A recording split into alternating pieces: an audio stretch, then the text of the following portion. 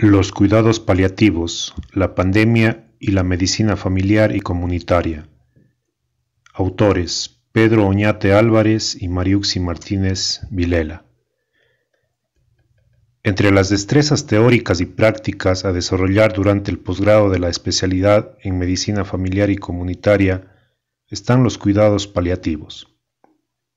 Para los médicos familiares en formación por la Universidad de Cuenca, la unidad asistencial docente asignada era la Fundación al Servicio de los Enfermos del Cáncer, FASEC, ubicada en la ciudad de Cuenca, Ecuador, institución hospitalaria encargada del manejo paliativo y cuidados de fin de vida de las personas con enfermedades en fase terminal. El día 17 de febrero del 2020, de manera habitual, el último de cinco grupos de médicos posgradistas iniciamos la rotación académica en dicha casa de salud. Además de los asuntos sociales, económicos y políticos cotidianos de la vida colectiva humana, una incipiente preocupación se mencionaba cada vez con más fuerza en los medios informativos nacionales e internacionales, la infección por el nuevo coronavirus. Este ensayo abordará las vivencias como posgradistas de medicina familiar y comunitaria en la rotación de cuidados paliativos en FASEC entre el 17 de febrero y el 20 de marzo de 2020, desarrollada en el contexto por la crisis humanitaria emergente. Se complementa con un breve comentario final acerca del rol del o la médico familiar en la pandemia a nivel comunitario. La medicina familiar y comunitaria. La medicina familiar y comunitaria es una especialidad clínica que se ocupa de la atención integral biopsicosocial de una persona, su familia y su comunidad. Su campo de acción abarca, además del órgano o sistema en particular, el contexto de las diferentes situaciones del proceso salud-enfermedad a lo largo del ciclo vital individual y familiar. Como especialidad médica a nivel mundial, tiene una trayectoria de casi 50 años, iniciando en el Ecuador el primer programa en el año 1987 y en la ciudad de Cuenca en el 2012. Al momento cursándose la tercera cohorte ofertada por la Universidad de Cuenca. Cuidados paliativos y el rol de la medicina de familia.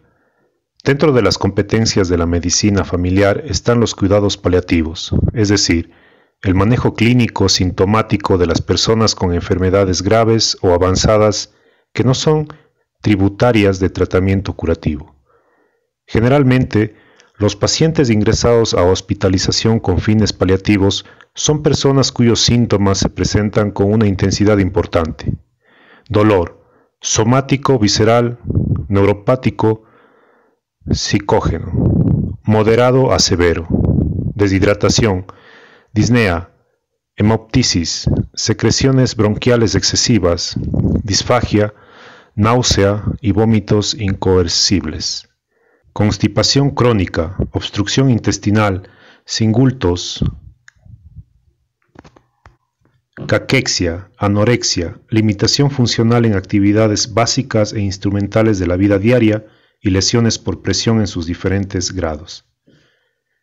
A esto se suman los síntomas neuropsiquiátricos como insomnio, agitación y delirio, labilidad emocional, ansiedad, depresión, ideas de muerte y temor a la misma. Todo este panorama desarrollado en el seno de una familia que no está exenta de desarrollar dificultades como crisis no normativas de pérdida o de cambio de estatus, cambio del ciclo vital familiar, síndrome del cuidador, conspiración del silencio, negación, ira, miedos y ambivalencia afectiva ante la inminente pérdida, aislamiento social y duelo patológico. Problemas que también requieren del acompañamiento médico. Se entiende entonces como un proceso que amerita de un amplio abordaje biológico, psicológico y sociofamiliar, para el cual el médico de familia debe estar capacitado. Como parte de las actividades académicas formativas de nuestra especialidad, la Fundación al Servicio de los Enfermos del Cáncer, FASEC, cumplía hasta marzo de 2020 la función de unidad asistencial docente. Esta fundación fue formada en 1982 y desde entonces había brindado atención paliativa, inicialmente a los enfermos de cáncer, ampliando progresivamente su cartera de servicio a todo tipo de paciente con enfermedades crónicas avanzadas, en las modalidades de hospitalización y visitas domiciliarias. El SARS-CoV-2, el 31 de diciembre de 2019, el Centro para el Control y Prevención de Enfermedades de China, CDCC, había notificado a la Organización Mundial de la Salud, OMS, sobre una infección respiratoria baja de causa desconocida en la ciudad de Wuhan. Supuestamente el agente causal se originó y expandió desde un mercado de animales vivos y mariscos de esta localidad, con un foco inicial informado de aproximadamente 40 personas infectadas.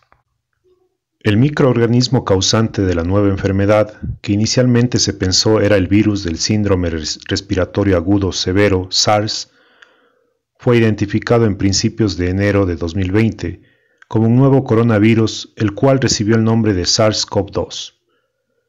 Los síntomas reportados por la mayoría de pacientes era fiebre, tos no productiva y dificultad respiratoria con una evolución clínica hacia neumonía.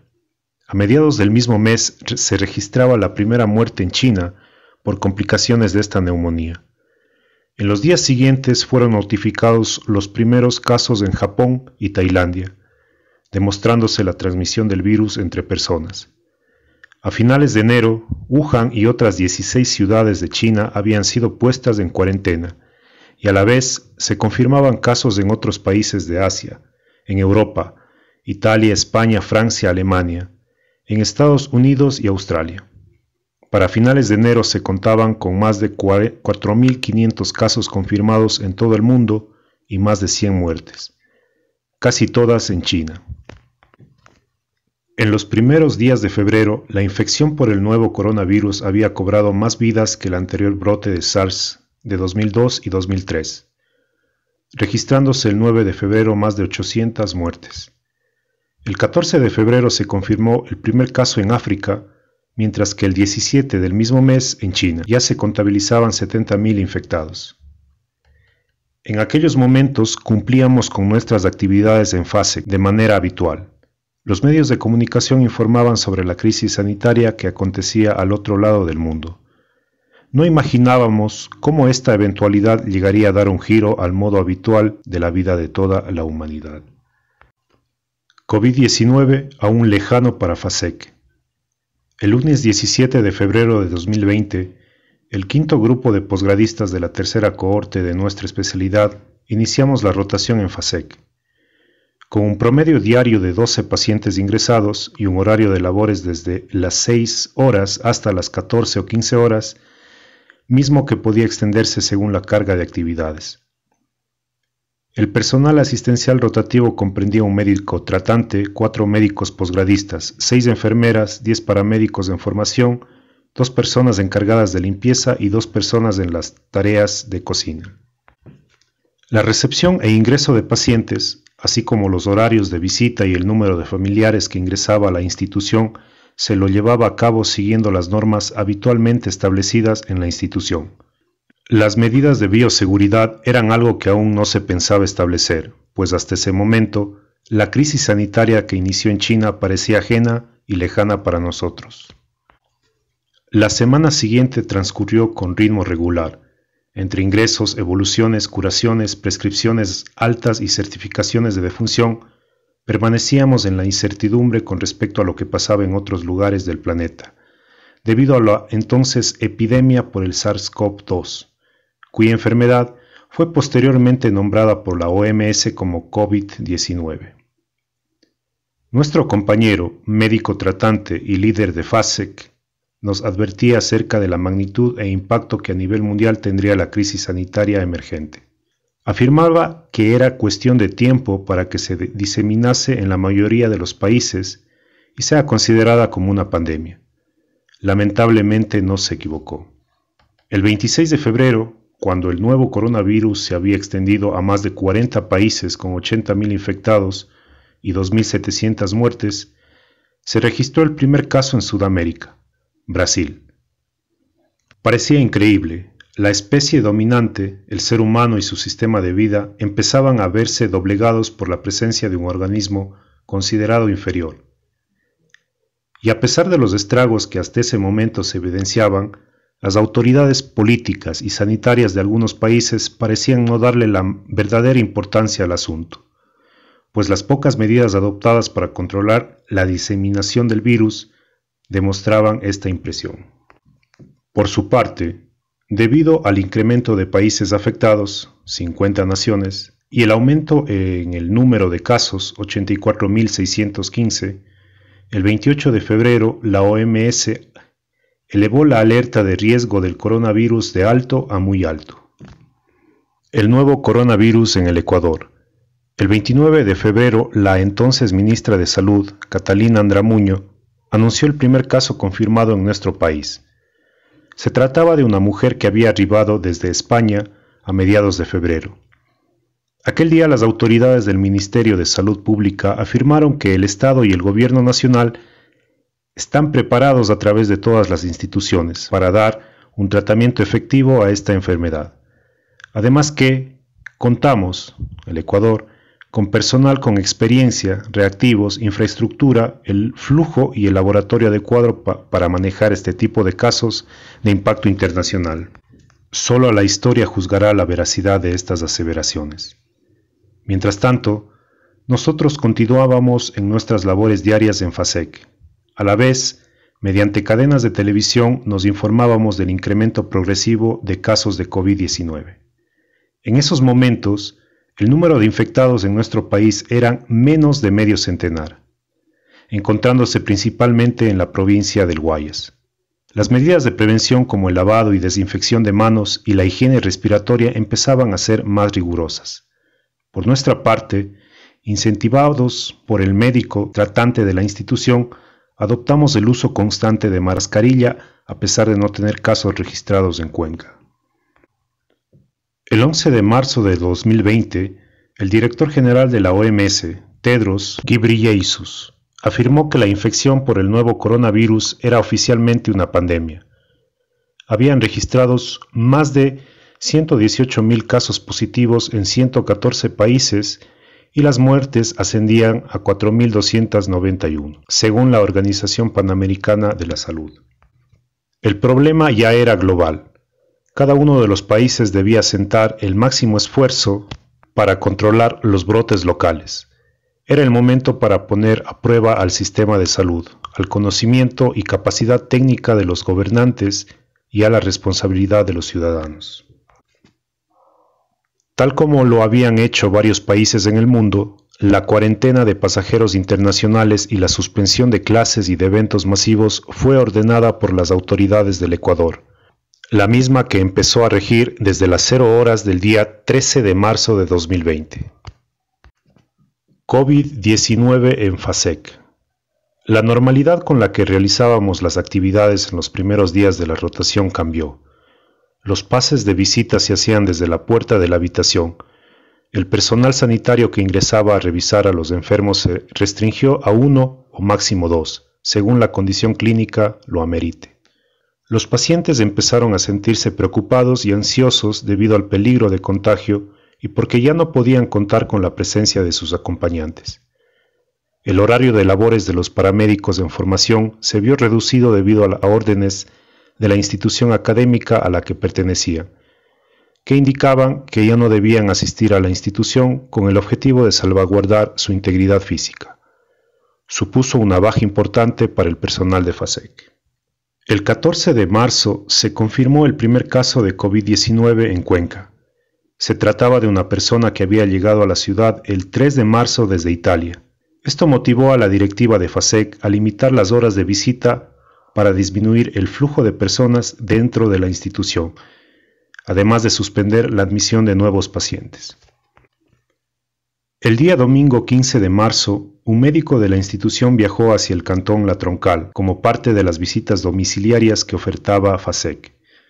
Por dificultades en el carretero, el autobús en el que viajaba había realizado un desvío hacia el cantón Daule, donde según las autoridades sanitarias existía un cerco epidemiológico bien establecido. Una vez que nuestro colega cumplió su misión, retornó a la unidad el día lunes 16 de marzo a continuar con las actividades normales. Debido a la emergencia sanitaria, desde el 17 de marzo se decretó la restricción de movilidad, la suspensión del trabajo presencial y el toque de queda en nuestro país. Al pasar de los días, los casos confirmados en la ciudad de Cuenca tenían un incremento lento pero progresivo. Según la clasificación por fases, aún estábamos en fase 2, es decir, casos importados y sus familiares, amigos y personas que pudieron estar en contacto con el paciente índice. La atención se iba adueñando en las casas de salud, sobre todo hospitalarias, y nuestro caso no era la excepción. Las medidas de prevención se iban intensificando según los lineamientos indicados por las autoridades. Sería cuestión de tiempo para que la transmisión se vuelva comunitaria. Los casos de COVID-19 a nivel mundial seguían aumentando.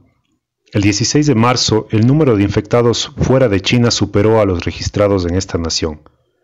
En aquel momento, China tenía 81.020 enfermos por coronavirus, mientras en el resto del mundo se contabilizaba 88.367 infectados.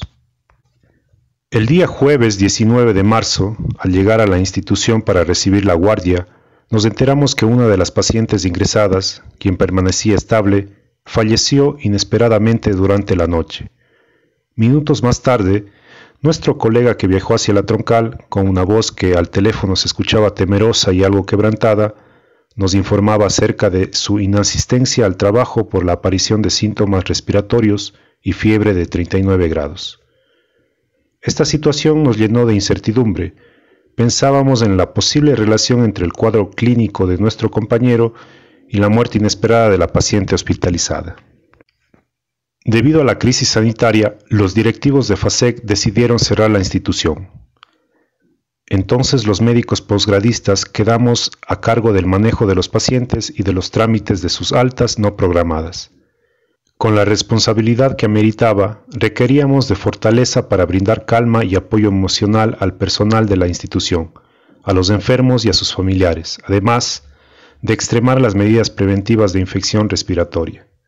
Los días viernes 20 y sábado 21 de marzo tuvimos que preparar a los pacientes y a sus familiares para sus altas no planificadas repentinas. Pudimos percibir el miedo que esos cuerpos y almas sintieron al saber que se quedarían desprotegidos del cuidado que ofrecíamos en la institución. El temor de los pacientes era volver a sentir sus síntomas intensos, y el de sus familiares el no saber qué hacer para ayudarlos, sumado al miedo de un inminente contagio. Eran personas que por su condición clínica requerían necesariamente ser tratados en una unidad de cuidados paliativos y en Cuenca no había otra institución para tales fines. Además, a FASEG ingresaban muchos pacientes con recursos económicos limitados, lo que les impedía pagar una estadía en otra casa de salud para cuidar de su vida y dignidad. En el sistema público de salud no se ofertan los cuidados paliativos y el acceso a la salud privada es muy costoso. Durante los días que estuvimos en FASEC, el ambiente que se vivió por la emergencia sanitaria era diferente al de los días regulares, donde ver una habitación llena de familiares nos alegraba el día, pues significaba que ese paciente no estaba solo y que tenía una fuerte red de apoyo, donde saludar con la mano o con un abrazo era el gesto más cálido entre nosotros y los pacientes, donde el acercamiento era sinónimo de bienestar y de cuidado. Tuvimos que programarnos para mantener en lo posible el distanciamiento social. Se prohibieron los saludos de mano y ni pensar en los abrazos. En nuestro uniforme no podía faltar una mascarilla. Debíamos hacer un buen examen físico en el menor tiempo posible y ser mucho más rigurosos con las medidas de bioseguridad al entrar en contacto con un paciente. Nos tocó cambiar el chip para entender cuán necesario era mantener una habitación sin más que un familiar y en horarios estrictos. Debíamos hablar y tocar al paciente lo menos posible y solo lo necesario.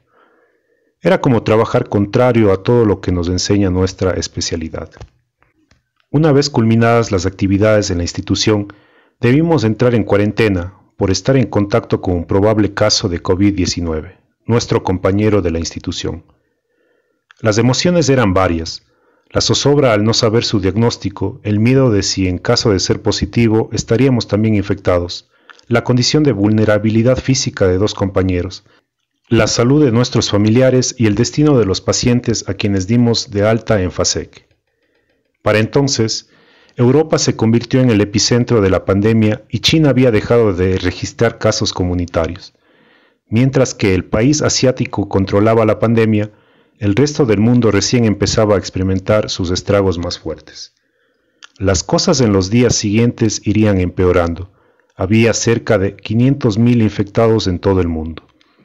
Italia se convirtió en el país con mayor riesgo de muertes y debido al colapso de su sistema de salud, las autoridades sanitarias decidieron no brindar atención en cuidados intensivos a los adultos mayores, priorizando la vida de los más jóvenes y productivos.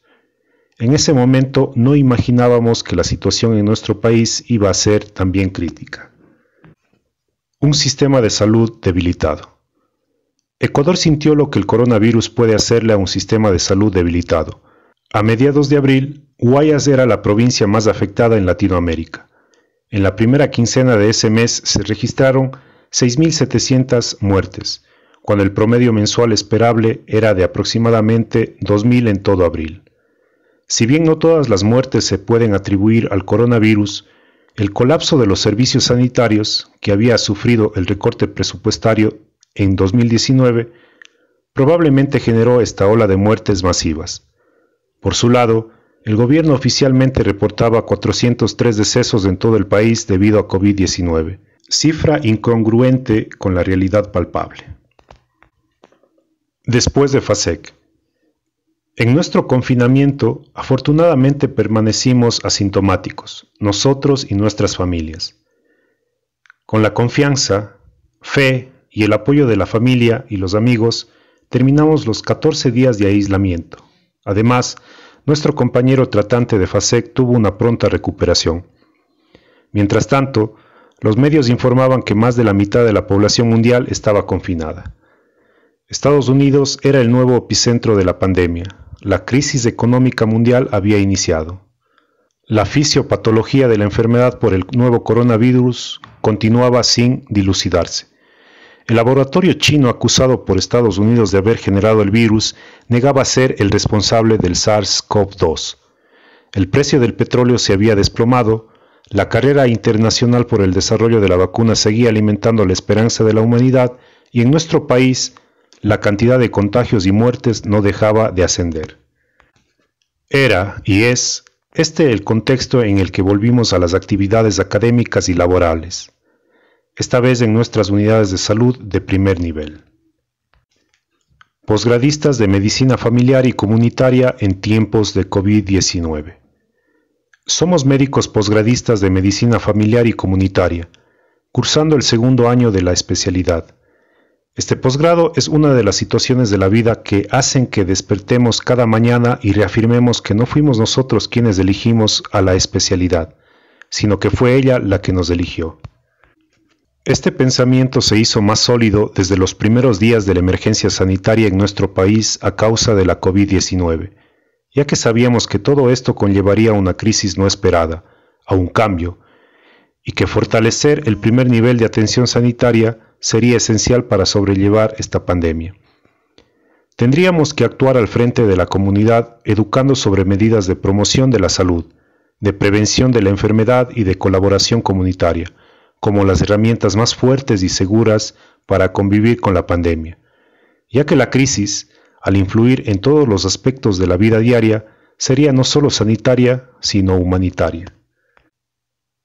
Nunca antes habíamos temido ejercer nuestra vocación Profesión, la medicina. A pesar de cambiar a los riesgos laborales que normalmente existen en nuestro trabajo, la buena actitud nos ha permitido desarrollar las cosas de la mejor manera. Pero ahora la situación es distinta. Experimentamos el miedo, miedo por nuestros pacientes, por nuestros colegas, por nosotros y por nuestras familias. Nos enfrentamos a una situación nueva, desconocida ya que a pesar de no ver físicamente el peligro, lo podemos sentir todos los días en las desalentadoras noticias y estadísticas. Entendemos que una patología no afecta solamente al individuo, sino también a su familia y a la comunidad en la que éste vive y se desarrolla. Eso vuelve casi imposible el no involucrarnos con un determinado contexto. Ahora se ha sumado la pandemia que ha cambiado el modo habitual de vida de los seres humanos, y debemos entonces trabajar con la nueva adaptación, premisa de la supervivencia.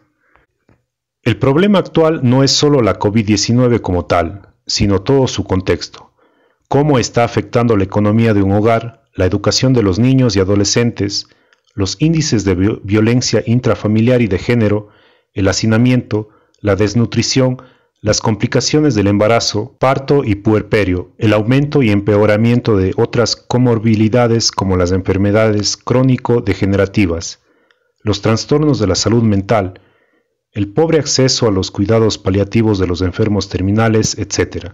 Problemas que están presentes pero invisibilizados pues los esfuerzos de los líderes políticos y sanitarios están enfocados en el manejo hospitalario de los pacientes con coronavirus, en la vacunación, en el reordenamiento de la economía y en el control de la corrupción. Esta epidemia necesita de un accionar multi e intersectorial, pues la crisis humanitaria no compete solamente al sector sanitario. Ahora más que nunca somos conscientes de que la salud, junto con la educación, son los ejes transversales de todas las necesidades biológicas y sociales de la vida humana. Como seres biológicos, sin salud simplemente no hay supervivencia, y como seres sociales, sin educación no hay adaptación psicosocial. Entonces, la competencia involucra a todos los sectores y actores, científico, académico, político, gubernamental, económico, empresarial, religioso, espiritual. Hay que recordar que el virus se irá, pero todo el caos que está ocasionando se quedará y debemos aprender a vivir con ello, adaptarnos a esta nueva realidad. El interés personal debe coexistir en concordancia con el interés colectivo. Poner énfasis en el adecuado manejo comunitario de esta crisis no normativa es pilar fundamental para sobrellevar la pandemia, pues es sabido que las epidemias nacen y crecen en las comunidades. Es una tarea compleja que tiene la medicina familiar y comunitaria y todo el equipo de salud de las unidades de primer nivel de atención. Es relevante buscar y encontrar estrategias para llegar a cada uno de los pacientes y sus familias y trabajar en conjunto con los líderes comunitarios, voceros de las necesidades de los pueblos. Una comunidad unida será una comunidad fortalecida. Pero para cumplir con las aspiraciones sociales comunitarias, mesosistema, inherentemente se requiere de la creatividad y cooperación de las autoridades políticas, sanitarias, educativas, religiosas, etc., macrosistema, que desempeñen la función de ideadores y gestores de los recursos disponibles, porque quizá sí hay para todos, o al menos para la mayoría, porque quizá solo están absurdamente distribuidos. Hoy más que nunca debemos entender que el individuo, microsistema, no es un ente aislado, necesita de su esfuerzo y de la ayuda de su entorno, macrosistema, para vivir en armonía. Si el individuo se cuida y se esfuerza, ese cuidado y esfuerzo será para su familia, para su comunidad y para la sociedad. Capítulo 17 del libro titulado Pandemia desde la Academia, experiencias transdisciplinarias de la Universidad Cuencana en tiempos de COVID-19.